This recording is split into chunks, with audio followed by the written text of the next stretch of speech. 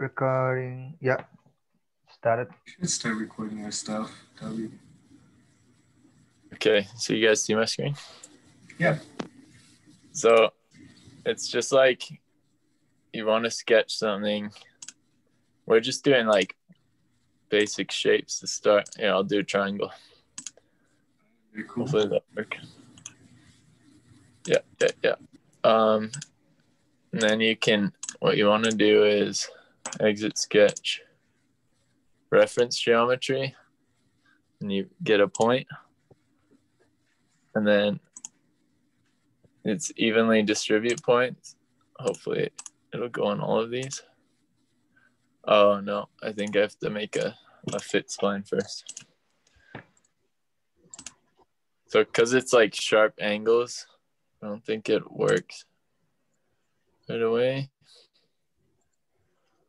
Oh man, Wouldn't it be under fillet or whatever the what? to make the corners not sharp? I don't think that's the the issue with it. It's just got to be like one continuous line. I think it has to be a spline to do this. Yeah, I'll do it with a, just a circle. That's gonna be hell. Would What'd you model. do this with before, Adam? I kind of just made a spline, so it's one constant thing. Okay. Yeah, sorry. This is gonna suck when we try and model more complex things. Well, no, as you get more complex, it'll probably be rounder. It'll be easier. Yeah, so I'll just do a circle, and I think you want it to be. Oh, Let's let's not just do a circle because doing a circle doesn't help us. okay, okay, okay. Do like Right. maybe a semicircle with a back half of a rectangle or something. What if I just do like a spline, kind of like an airfoil? Yeah, that Uh, works. That works too, actually. Yeah. This is what I did before to figure it out. So yeah, you got that. Okay. um, and then back to where I was. Reference geometry. Oh, I'm not exit the sketch. Reference geometry point. Select that. Evenly distribute. Might want more. 100. Um, yeah. And then what you want to do is you like select all of the points and the sketch. Um, and then create. Oh, I, I guess I gotta select again. Create new sketch and then select all of them. Oh, come on. There we go. There you go. Yeah, and then you go convert entities. So it basically just makes it all that one sketch. And So sketch three. I'm just gonna hide. Oh, yeah, that's sketch three now. I'm just hiding them all so we can only see sketch three. Okay, that's good. You got this one. Oh, we're still in the sketch. So I'm gonna zoom in and delete the actual spline.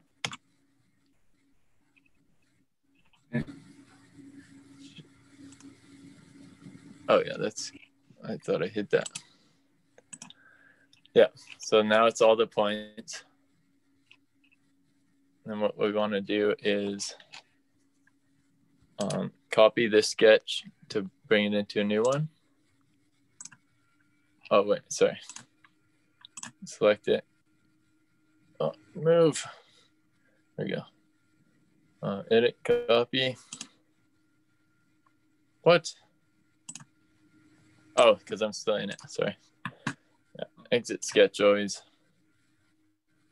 Edit, copy. Oh god, did it just copy the name? I hope not. I'll do it one more time. Then new drawing. Third part. Um, yeah, you can just uh, paste, I think. Yeah, and there it is, lined up with the front plane.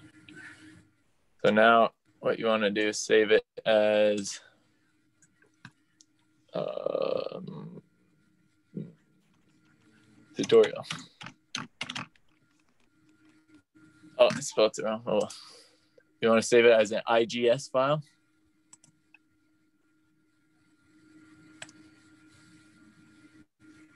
And then you go into the document, document, uh, where did I, yeah, this one. You want to change the, rename it. Is it not letting me rename again? Island. I hate this so much. I hate Windows. Uh, Yeah, I guess I gotta change my settings again. Sorry.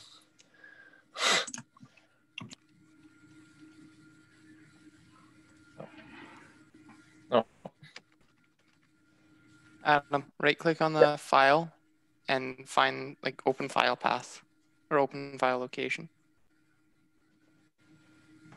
Where's that? go down. Oh, there it is. Yeah. yeah. Try renaming it there. Oh, okay. Thanks. You can't you can't rename from that like quick menu. Yeah. So, oh, okay. So yeah, you just change the IGS to CSV. It tells you that. It it it still is readable. It gives you this document with just a whole lot of shit. Oh yeah. Um, but basically, you scroll until you see that looks like coordinates. Those are that's those are the values you want.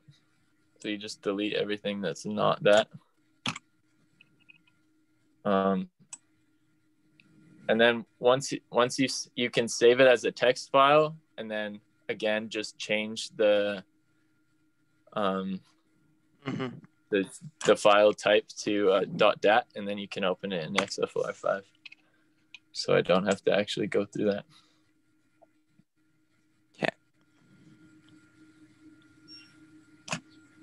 Um, is there any way to do this for more sharp edges, or is it only for curved or no edges? I think it might have to be like one continuous spline, but there's there's probably a way. I'm just not familiar enough with SolidWorks that I know.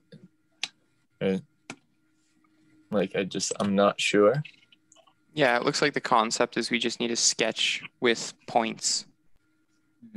Yeah, you could probably just manually add a bunch of points, or you can do. Yeah, I probably could have just done each line. Like when I did that triangle, I could have done it on one line, got all the points, and then again, just convert all the point entities to one sketch. and you'd be For except for 5 now that I think about it, it should be fine. Like if you're doing straight edges, like lines, it's probably fine if you only have the start and end point of line because all it does is linear interpolate between the two anyway. If that makes sense. So there Actually, again, no. Scratch that. What I just said was a lie. What? I was gonna say, so like the shape would come out fine in XFLR five if you only had like the start and end points of a line segment. But the method it uses relies on there being multiple nodes uh, along the path of the shape. Yeah. So basically, you just wouldn't have data between the start and end points, and that's a problem. Oh, like as in there'd just be a gap in the the airfoil wouldn't be complete. You would see the sh- you would see the shape just fine, but when the computer goes to do the math on it, you'll have problems. Okay. I Adam, don't do you know remember? Do you remember the finite difference method? Do you remember the finite difference method from heat transfer? Yeah. So you remember how it's based on all those nodes along the grid? Yeah, yeah. Yeah, Yeah, so obviously your resol- your result gets better the higher resolution you have as it Mhm. goes to interpolate between all these values. So if you only have the start and end value to interpolate between, it's only going to come up with one thing. Whereas, you know, if you have 25 nodes along the section, you're going to get a much better result, a much more accurate result. Yeah. Right. Um, So Okay, we I'll do just- need lines or points. let's see if I can. Uh... Oh, yeah. So now it's the text file. Um, rename dot dat file.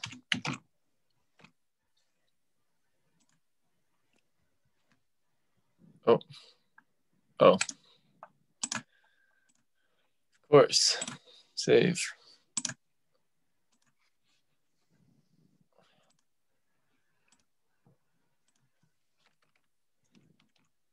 Okay, but yeah, are there any other steps that anyone's confused on? Like once you're in XFLR five, there's all those tutorials that Ethan said. I'm still going through those. Um, we can kill the recording now, Ricky, if you want.